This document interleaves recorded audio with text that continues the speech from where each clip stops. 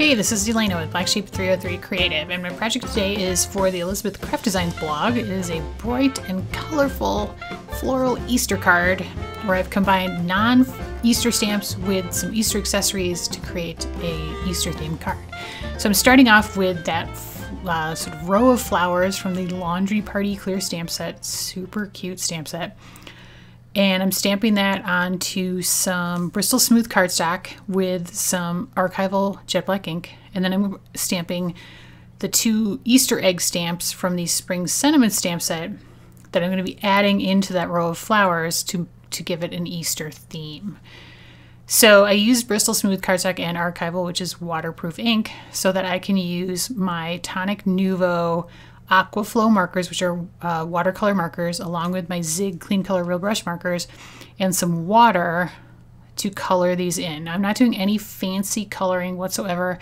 It's basically just like straight coloring with the marker, and then here and there I am adding water to kind of spread it out and maybe dilute the color a little bit, but not too much. Those Tonic Nuvo Aquaflow markers, I really love them, but I only have two sets. The spring set, which is which are these lighter shades, it's called Spring Meadows. They're um, more pastel than the Winter Skies set, which is the other one I've got, which is that dark blue and the dark purple you see there, um, which is way more saturated. But they're really, really fun and they, they stay super bright and really pretty, as do my zigs. So it was a really good combination. And as you can see, no fancy shading or anything happening. It's really just straight coloring with a little bit of water. And I'll list the colors um, over on my blog post if you're interested in those. And then I'm adding Tonic Nuvo crystal and glitter drops to the various flowers for some extra detail. I love glitter and I love dimension, so it's always fun to add some Tonic uh, Nuvo drops onto flowers, I think. Now, you do note that the third flower from the right, the little small purple one, if you want to um, create this card on your own, you do not need to color that flower. That flower is actually going to be covered up by the two eggs that I'm coloring right now.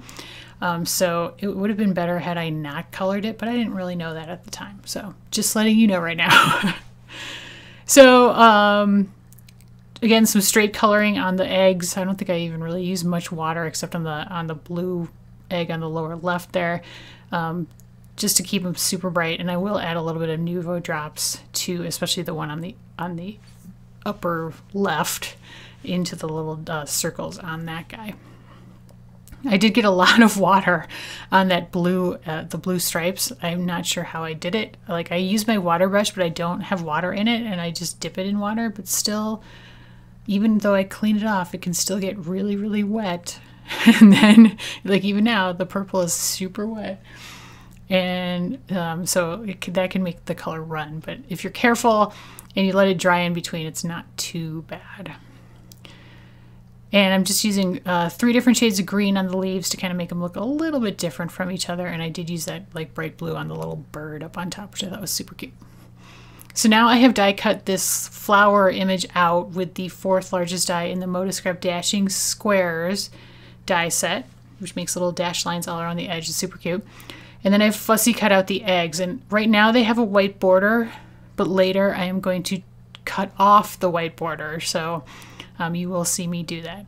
And now I'm taking a craft knife and I'm cutting around that yellow flower on the far right, just the kind of lower left part of it, because I want to tuck those two eggs underneath it to kind of add it into the little row of flowers. And of course, my craft knives were not sharp. which made it a little bit difficult.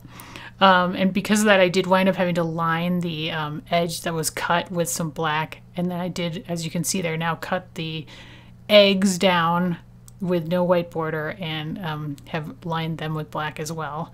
And then I do the exact same thing on the on the opposite side along that red flower edge. I'm cutting an, an, a slit there to slip the single egg into that one. And now here is where I'm covering up that small purple flower with my white glaze pen because it does show a little bit around where I want to put the two eggs.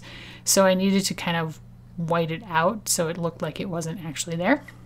And I think if I hadn't colored it, that would have been easier to do because I did have to use several layers of white to get that covered up. Now for my greeting, I have a die cut out the word happy and then Easter from that cool uh, die set, which is called Words 3 Happy Holidays. So it has a lot more holidays on it. And now I'm taking some distress ink in mustard seed and I'm just going along the edges of the, the yellow word. So this is buttercream soft finish cardstock that I cut it out of. And now I'm just edging it with the dist or the distress ink. And then I also cut it out, the words out with uh, rich black soft finish cardstock. And so I'm going to layer these together to create like a shadow layer. So I'm offsetting the yellow word sort of up and to the right. So the black shows um, down and to the left around the word. So that kind of makes a offset shadow on both words.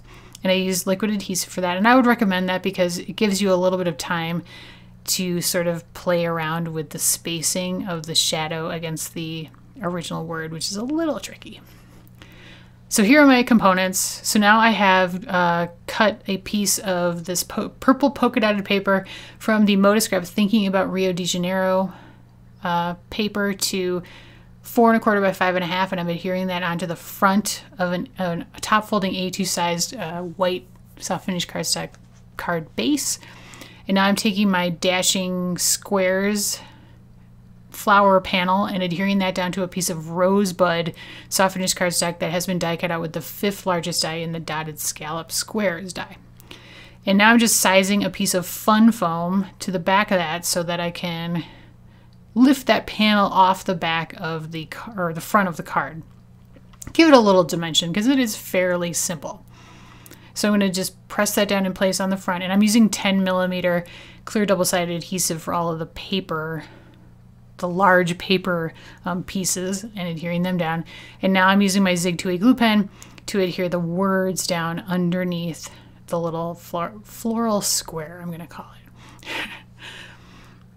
and I just kind of offset them a little bit, um, but more or less in the middle below that floral panel.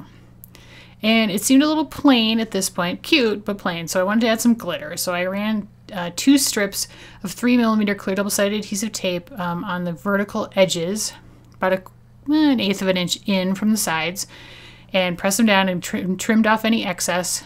And now I'm just going to cover this with soft green silk microfine glitter and rub it down with my finger to really burnish it into the tape and get a get the shine to come up really nicely because that glitter is super shiny and really pretty. And that is the completed project. So not too complicated, but kind of fun, I thought. I'm not really like a pastel Easter card person. I don't know why, because I certainly appreciate pastel cards. Um, I tend towards brighter, more uh, saturated colors, so that's what you're getting from me today, and hopefully you don't mind that so much. Um, and I did want to show you how you can combine your non-holiday themed stamps with sort of smaller little holiday accessories um, to create a holiday themed card with stamps that you might not normally think would work for that. And that laundry party stamp set is super cute. So thanks so much for watching. Uh, supplies are linked in the video description and over on my blog. Here are two more projects I have done in the past for Elizabeth Craft Designs, and I'd love it if you check those out and subscribe to my channel if you haven't. Thank you so much and have an amazing day.